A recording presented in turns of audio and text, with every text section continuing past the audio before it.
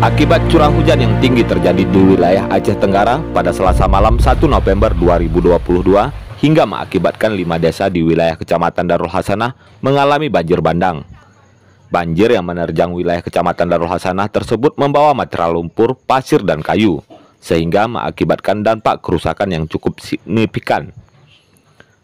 Bencana ini menggugah berbagai pihak untuk turut membantu meringankan beban para korban, termasuk sepakat segenap keluarga Kutacani Aceh Tenggara atau disingkat dengan SKKAT, wilayah Kota Medan, Provinsi Sumatera Utara.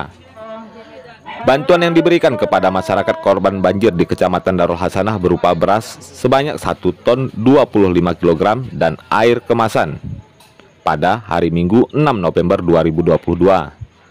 Bantuan banjir bandang langsung diserahkan oleh Dewan Penasehat SKKAT. Haji Kruas didampingi Dewan Pembina Haji Ali Basrah diwakili oleh Bobby Asmirja serta para pengurus SKKAT Medan dan langsung diterima oleh Camat Darul Hasanah Hayadun di Posko Bencana Desa Rambung Telda, Kecamatan Darul Hasanah.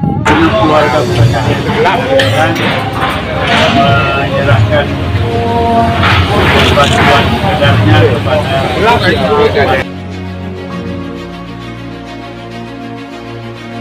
Al Mirja mengatakan ini merupakan bentuk kepedulian keluarga besar SKKAT Medan kepada masyarakat yang terkena musibah.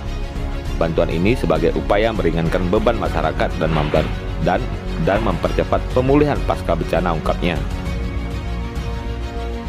SKKAT untuk mengumpulkan uh, dana uh, yang jangan dilihat seberapa besarnya tapi dilihat uh, seberapa ikhlas kita hadir kemari jauh-jauh dari Medan untuk sama-sama meringankan uh, beban yang dirasakan oleh saudara-saudara kita yang ada di kecamatan ini. Kilo sebanyak 200 205 karung. Kemudian ada uh, air mineral sebanyak 20 kotak. Harapan kita ialah uh, para korban yang terkena dampak uh, kami mohon untuk tetap kuat, untuk tetap sabar dan untuk tidak uh, lupa berdoa kepada Allah Subhanahu wa taala uh, agar apa yang terjadi di sini segera bisa terselesaikan, segera bisa uh, pulih kembali.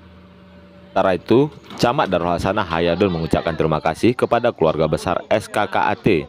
Mudah-mudahan bantuan ini bisa mengurangi beban masyarakat korban banjir bandang ungkapnya.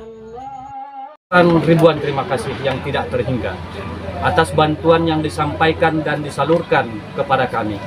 Mudah-mudahan atas bantuan ini bisa mengurangi beban terhadap warga masyarakat kami yang terkena musibah pada saat sekarang. Semoga nanti akan dihitung oleh Allah Subhanahu wa taala menjadi ladang ibadah di hari kelak. Memang Usai memberikan bantuan, rombongan SKK Ati Medan menyempatkan untuk langsung berdoa dipimpin oleh Al Ustaz Samsul Bahri meminta kepada Allah Subhanahu wa taala semoga korban banjir bandang sabar menghadapi musibah ini.